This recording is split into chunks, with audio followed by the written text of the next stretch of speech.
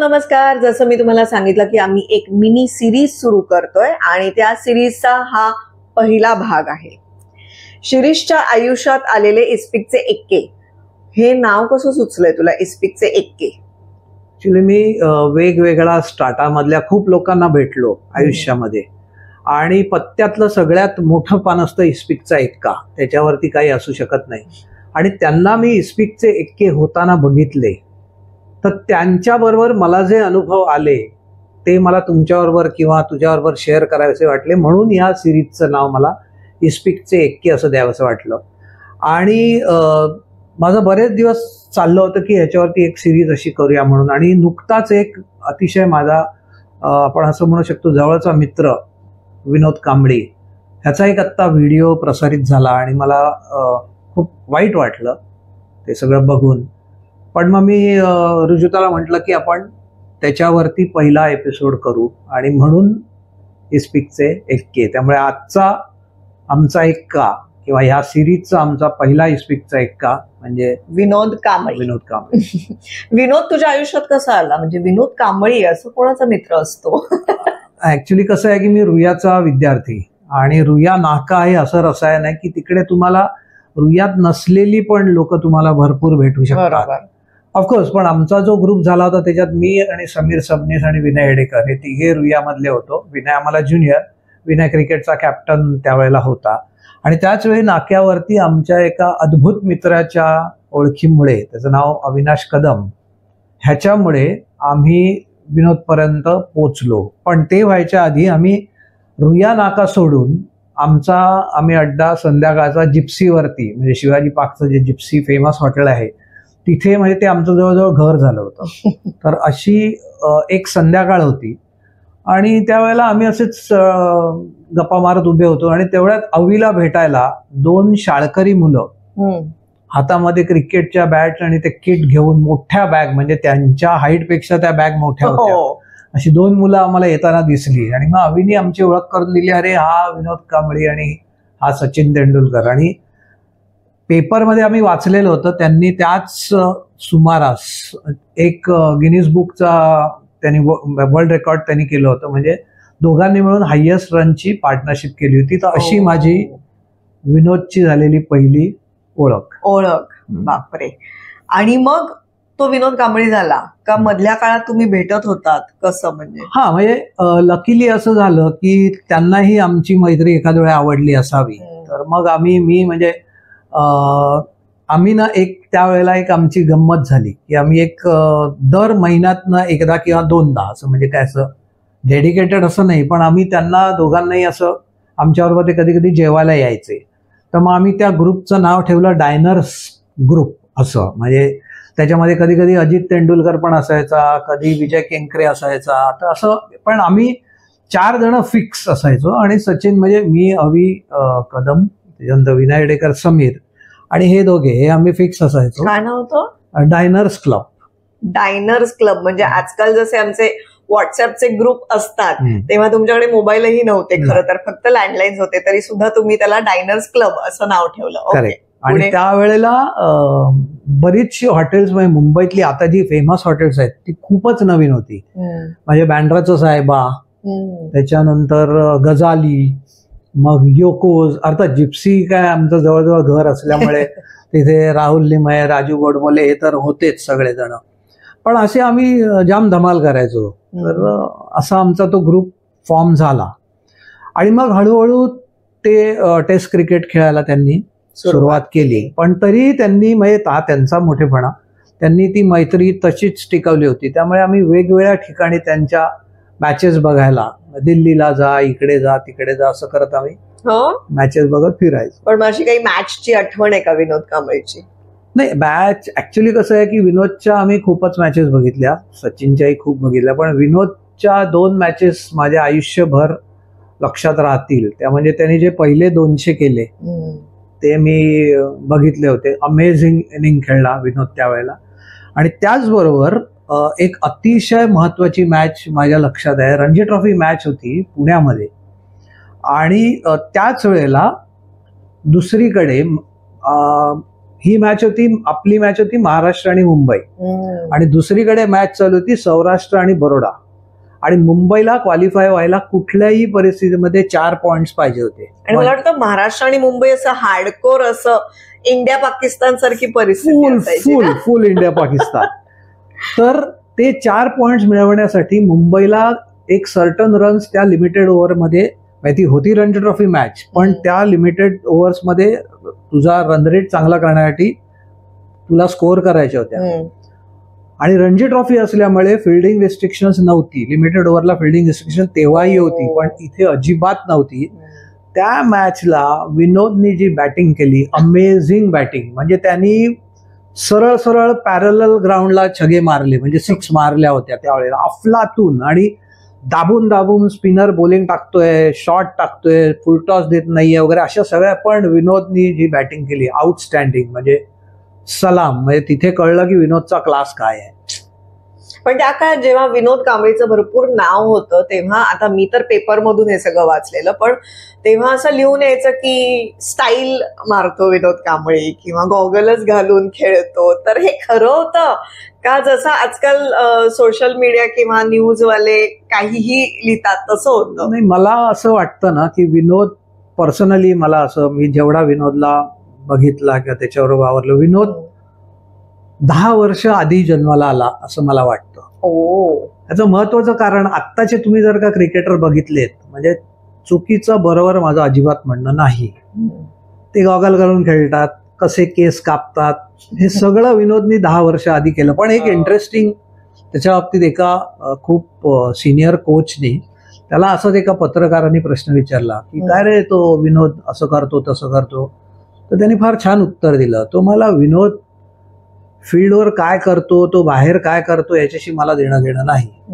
तो किती रन्स करतो तो किती कॅचेस पकडतो आणि फिल्डिंग कशी करतो हे मला महत्वाचं आहे. ज्या दिवशी हे तो करणार नाही त्या दिवशी मी त्याला त्याच्याबद्दल बोलीन पण प्रत्येक प्लेअरनी काय करावं आणि काय नाही हा. त्याचा स्वतःचा एक ज्याला आपण म्हणतो की त्याचा डिसिजन असतो तो. आणि ती जी स्टाईल आहे ती नुसती स्टाईल नाही ती विनोदला झेपायची पण. हा. म्हणजे त्यांनी जर का स्टाईल मध्ये केलं तर जसं वेस्ट इंडियन क्रिकेटरमध्ये एक आपसूक स्टाईल असते. हो. तशी विनोदमध्ये एक आपसूक स्टाईल होतीच होती. हो. त्यामुळे मला काय असं वाटत नाही की तो रन्स जोपर्यंत करतोय आणि क्रिकेट जसं डिसिप्लिननी खेळतोय. म्हणजे परफॉर्मन्स दिलाय तर मग काय गॉगल घातला काय आणि स्टाईल मारली काय? पण मग विनोदला स्वतःला क्रिकेट सोडून काय आवडायचं? अरे विनोद सारखा अफलातून डान्सर. हो? अरे अमेझिंग म्हणजे त्याच्यानं मी सांगतो ना त्याच्यानं त्याच्या अंगातच सगळं होतं. एनर्जी एनर्जी म्युझिक त्याला भयंकर आवड हो. म्युझिक ऐकायची. आणि टेरिफिक डान्सर म्हणजे तू जर का शंभर लोक असतील आणि विनोद नाचायला लागला तर शंभरच्या शंभर विनोदकडे बघत राहतील एवढी विनोदची ताकद होती. आणि विनोदनं नकला अफलातून घाला हो? अरे टेरिफिक म्हणजे वाडेकर सर जे होते वाडेकरांनी त्याला आणि सचिनला जवळजवळ ते मुलासारखेच मानायचे. हम्म. पण तो वाडेकर सरांची जी नक्कल करायचा ना अमेझिंग अमेझिंग म्हणजे अमेझिंग आणि सरांना पण ते हा सरांना पण ते आवडायचं खूप. हा आउटस्टँडिंग कमाल. आजकाल नाही तर शिक्षकाच्या नकला केलेल्या शिक्षकांना चालत नाही. पण ती गंमत आहे ना ती समजून घेतली पाहिजे खरं तर शिक्षकांनीही. अगदी म्हणजे ना अगदी तू इतकं करेक्ट बोलती आहेस. की कित्येक वेळेला असं होतं की तो कोच आणि विनोद यांचं रिलेशन इतकं वेगळं होतं की त्यावेळेला बरं विनोदही त्यावेळेला काही असं काहीतरी सरांच्या समोर काहीतरी विचित्रच केलं वगैरे असं कधी विनोदनी. केलं नाही त्यांनीही त्यावेळेला सगळं सांभाळून आणि सगळं करून म्हणजे तो आणि सचिन एकत्र असल्यानंतर जो टाइमपास व्हायचा ना हं. तो आपण म्हणजे अशक्य टाइमपास असायचा जो तुम्ही सगळ्यांनी मिळूनही केलाय म्हणजे हो. जिप्सीवर हे मी ऐकलंय आणि त्यांना एक सी कसं आहे शेवटी ती पण खूप म्हणजे शाळेतनं जस्ट पासआउट झालेली मुलं आणि टेस्ट क्रिकेटरची शेवटी माणूस हा माणूस असतो. त्यामुळे तो टेस्ट क्रिकेटर हो की काय हो मग सचिननी गाडी घेतली मग रात्री अकरा सव्वा अकराला कसं टाइमपास करायला मरीन ड्राईव्हला फिरायला जा. वगैरे असं सगळं मग विनोदनी नंतर झेन घेतली वगैरे असं पण धमाल टाइमपास. म्हणजे दोघेही फुल धमाल. धमाल म्हणजे आपण इमॅजिनच नाही करू शकत एवढे ते दोघे टाइमपास. हो. हो. आणि मग गेल्या काही वर्षात म्हणजे तू माझ्या आयुष्यात आलास तेव्हापासून विनोद कांबळी तर आपल्याला कधी भेटला नाहीये. तर मग एका पॉइंट नंतर ती मैत्री विरून गेली का? कसं नाही नाही विरून असं नाही. आता काय होतं बरेच वेळेला म्हणजे आता त्याचं ज्या वेळेला लग्न झालं. म्हणजे त्या लग्नाच्या वेळेला पण अविनी त्याला खूप मदत केली आणि बाकी सगळं. पण जेव्हा ते अवीकडे तो राहतही होता हा करेक्ट मी ते ऍक्च्युली खूप महत्त्वाचा मुद्दा आहे तो. मी. विसरलो होतो. की अविनी त्याला अवी पण अतिशय छोट्या घरात राहायचा. अवी वरळीला बेर्डी चाळीत राहायचा छत्तीस. नंबरमध्ये तर विनोद कांजूर मार्ग वरनं येतो आहे. ती एवढी मोठी किडबॅक घेऊन तो ट्रॅव्हल करत येतो आहे. हे अवीला जरासं ऑड वाटायचं की बिचारा हा लहान मुलगा एवढा म्हणून अवीने स्वतःच्या घरी विनोदला राहायला राहायला दिलं. म्हणजे तिथे राहून तो प्रॅक्टिस करायचा आणि हे सगळं. कमाल आहे अभि. कदम हाही याचा खूप जवळचा मित्र जो रिसेंटली कोविडमध्ये गेला म्हणजे अवीबद्दल मी एक असं सांगू शकतो जाता जाता की अवी हा असा माणूस होता ना की तो कुठलाही इंडियन क्रिकेटर असो किंवा फॉरेन क्रिकेटर असो त्याच्याबरोबर तो कधीही त्याच्या रूममध्ये जाऊन बोलू शकायचा कारण अवीनी खूप मोठा बिझनेस एका बॅट्स आणि पॅडच्या. कंपनीचा डेव्हलप केला होता ज्या बॅट्स सगळे क्रिकेटर वापरायचे वेगवेगळे स्टिकर लावून. त्यामुळे अवी हे एक अफलातून रसायन होतं माझ्या आयुष्यात आलेलं. येस सो तू मला सांगत होतास की विनोद कांबळेचं लग्न झालं आणि मग हा आणि कसं होतं की एकदा लग्न झाल्यानंतर त्याला त्याचे व्यवसाय असतात मग तो गडबडीत असतो त्याच्या तर त्याच्यामुळे नॅचरली म्हणजे आमची दोस्ती विरून जायचा काही प्रश्न नाही राहिला. म्हणजे पण असं- असं होतं म्हणजे काही माणसं आपल्या आयुष्यात काही काळापुरती असतात. म्हणजे विरून जाणं म्हणजे ते मे बी ते मेंट फॉर दॅट पिरियड असतं तसं असेल कदाचित विनोद कांबळी त्या पिरियड पुरता तुझा. पण आता जेव्हा विनोद कांबळेचे व्हिडिओज व्हायरल झाले त्याच्या तब्येतीविषयीचे आणि मग काय तेव्हा मी बघितलंय शिरीषला की ते व्हिडिओज बघून त्याला किती त्रास झाला. त्यानंतर त्याचे विनोद कांबळी यांचे काही मित्र तिथे गेले होते आणि त्यांनी चौकशी केली. तर शिरीषनी ही वाया वाया फोन करून इकडनं तिकडनं चौकशी करून तो बरा आहे ना ही सगळी चौकशी करून घेतली. त्यामुळे ते जरी तो तुझ्या आयुष्यात आता नसला तरी ती मैत्री जी हृदयात आहे ती मी बघितली आता recently. म्हणजे मला शेवटचा मी विनय विनोदला जो भेटलो शेवटचा तो मी अवी कदमचे जेव्हा वडील गेले तेव्हा भेटलो. हम्म, पण अं, म्हणजे अगदी मी तुला एक गोष्ट शंभर टक्के सांगू शकतो एक कसं आहे की आता जेव्हा तुम्ही सेलिब्रिटी होता हम्म, म्हणजे तू एक आता एक ऍक्ट्रेस आहेस. सेलिब्रिटी असं आपण म्हणू नये पण तू एक ऍक्ट्रेस आहेस. तर तुमच्या आयुष्यामध्ये दोन गोष्टी खूप महत्त्वाच्या आहेत असं मला पर्सनली वाटतं की तुमच्याबद्दल लोक चांगलंही बोलतात आणि तुमच्याबद्दल लोक वाईटही बोलतात. ते हा. तुम्ही ठरवायला पाहिजे की तुम्ही किती त्याचा त्रास करून घ्यायचा किंवा काय करून घ्यायचं. तसं विनोदच्या बाबतीत जेव्हा हे व्हिडिओ हा व्हिडिओ जेव्हा व्हायरल झाला त्याच्यानंतर किंवा त्याच्या आधी त्याच्याबद्दल खूप काही लोक बोलले सी त्यांना हक्क आहे माझं एवढंच म्हणणं आहे की तुम्ही पर्सनली जर का त्या गोष्टीचा एक्सपिरियन्स केला असतील तर तो बोलणं तुम्हाला हक्क आहे कोणाच्या तरी वरनं सांगून बिंगून असा तुम्हाला हक्क नाही असं माझं पर्सनल मत आहे. ते झाल्यानंतर ना मला एक गोष्ट विनोद कांबळीची अगदी सगळ्या जगाला ओरडून सांगावीशी वाटते की मी जो विनोद बघितला होता.